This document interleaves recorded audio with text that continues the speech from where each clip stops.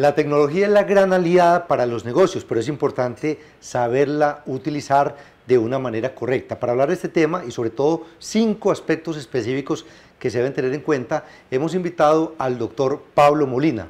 Él es profesor de la Universidad de Georgetown en Washington y justamente entre sus materias con los alumnos eh, está este importante tema. Dentro de esos cinco aspectos que usted nos plantea que son muy importantes tener en cuenta a la hora de manejar la tecnología de forma correcta, el primero es lo que tiene que ver con la seguridad informática. ¿Qué hay que tener en cuenta ahí? La tecnología está en el corazón de casi todos los negocios. Ah, ya sean agrícolas, de servicios o industriales, tienen un alto componente de tecnología. Y al mismo tiempo que las tecnologías tienen un gran valor para el procesamiento de datos y para servir a nuestros clientes, al mismo tiempo nos exponen a riesgos. ¿Y cuáles son los riesgos? Pues hay muchas personas eh, ahí fuera que están intentando atacar nuestros sistemas, a evitar que funcionen o robar la información o incluso el dinero detrás de esos sistemas.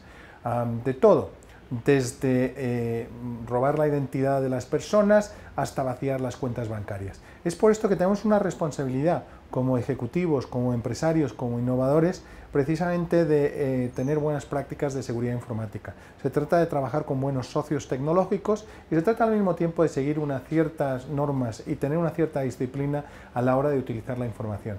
Por ejemplo, si tenemos una computadora portátil, una laptop, y ahí tenemos los datos de nuestros clientes, más vale que esos datos estén protegidos por una contraseña y encriptados, porque si perdemos la computadora, entonces estamos perdiendo los datos de nuestros clientes. No solo es malo para nuestra empresa, no solo daña nuestra reputación, sino que además estamos traicionando la confianza que nos han otorgado los clientes. Y eso, doctor Pablo, va muy de la mano de lo que tiene que ver con la privacidad de la información, que es otro aspecto vital que hay que cuidar. La privacidad y la protección de datos son materias tan fundamentales que están legisladas en la mayoría de los países del mundo. Se trata de proteger la información de los consumidores. Se trata de que las compañías y los que procesan datos eh, por encargo de esas compañías tengan responsabilidad y prácticas lo suficientemente buenas para asegurarse de que esa información no se usa para malos fines y al mismo tiempo no se pierde ah, con terceras personas que la pueden utilizar eh, con malos propósitos. En ese sentido, lo importante es la transparencia. Se trata de avisar a nuestros consumidores de qué información estamos recabando sobre ellos, por cuánto tiempo y al mismo tiempo para qué vamos a utilizar esa información. Y lo importante aquí es que seamos consecuentes con nuestra palabra. Lo que decimos lo tenemos que hacer y lo que hacemos lo tenemos que decir. En casi todos los países del mundo donde las empresas eh, se ven en problemas con los reguladores de las agencias de protección de datos es cuando dicen que están haciendo una cosa y en realidad están haciendo otra. Es por esto que es importante cuando sea necesario consultar con abogados, cuando no lo sea simplemente pensar seriamente cuál es la información que recabamos, siempre intentar recabar el mínimo posible, simplemente lo que necesitamos para nuestras transacciones, durante el mínimo tiempo posible y en todo el tiempo que tengamos esa información, custodiarla de forma profesional, seria y responsable. Doctor Pablo, y hablemos ahora de un tema que también es fundamental eh, a la hora de hablar de la seguridad de la información, que es lo que tiene que ver con la propiedad intelectual. La propiedad intelectual es fundamental y es fundamental por dos motivos. En primer lugar, porque no queremos accidentalmente o a propósito violar la propiedad intelectual de terceras personas u organizaciones, porque esto nos llevaría simplemente a juicios, a litigios que pueden hacer que nos cueste mucho dinero y mucha reputación a nuestras empresas y organizaciones.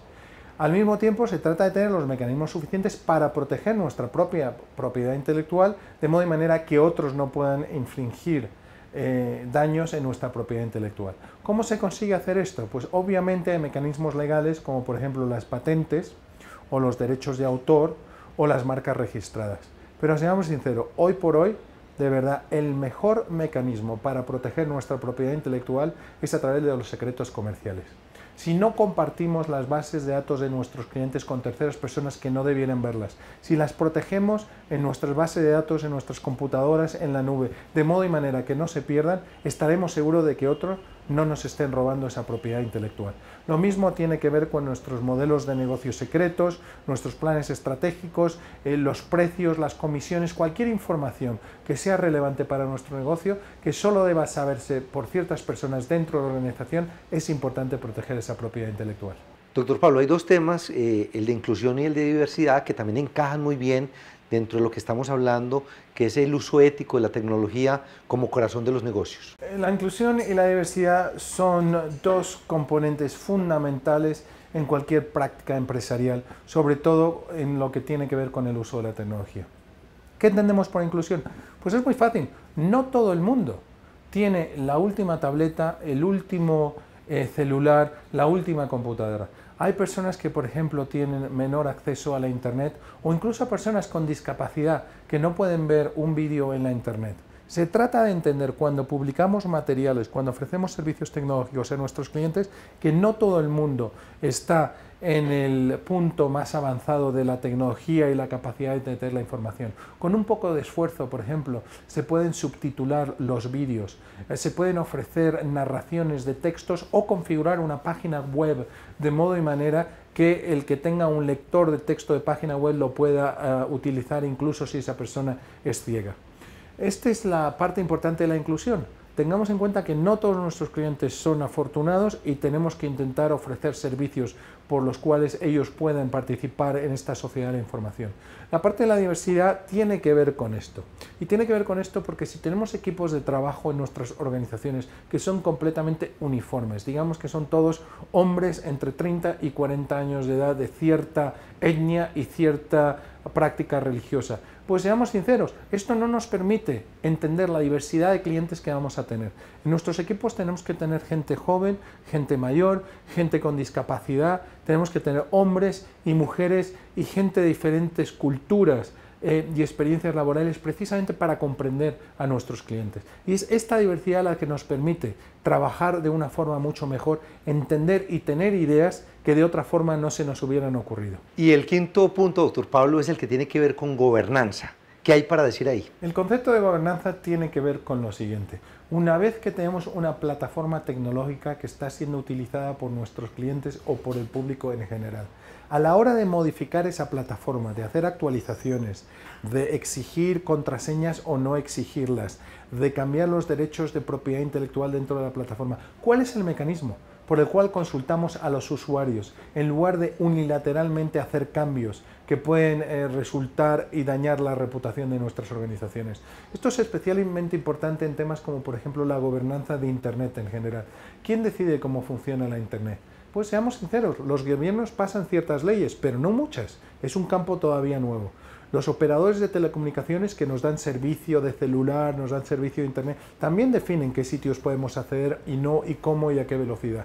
Los proveedores de contenidos, como pueden ser Facebook, YouTube, las empresas de diferentes países que ofrecen contenidos para los clientes de esos mismos países, también deciden cómo funcionan esas plataformas. Y al mismo tiempo los ciudadanos decidimos y decidimos con nuestros pies. Si nos gusta un sitio, lo utilizamos o un servicio, si no nos gusta, utilizamos un servicio de la competencia. Todo este, este ecosistema son los que deciden cómo funciona la Internet. Del mismo modo, una vez que tengamos clientes utilizando nuestras plataformas tecnológicas, hay que tener presente la gestión del campo del cambio y hay que ser participativos a la hora de introducir modificaciones fundamentales en el funcionamiento de la tecnología.